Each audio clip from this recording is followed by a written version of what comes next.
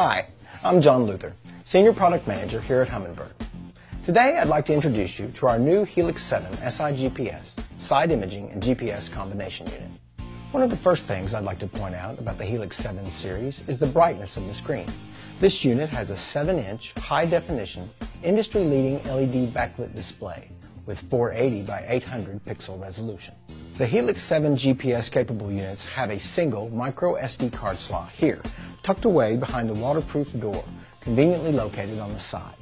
The Helix 7 is compatible with Humminbird cartography such as LakeMaster, and also with optional Navionics Gold, Silver, and Hot Maps, all available now at your favorite retailer on micro SD cards.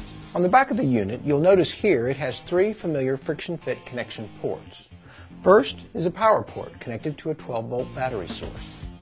Next is the port where you connect your optional NMEA 0183 interface cable for connecting the GPS output to optional accessories, such as a DSC radio. And finally, a port to connect your dual frequency transducer and side imaging or down imaging transducer on imaging capable models. This unit features two available mounting systems. The first is a standard gimbal mount, which is included in the box and consists of a gimbal bracket and two gimbal knobs.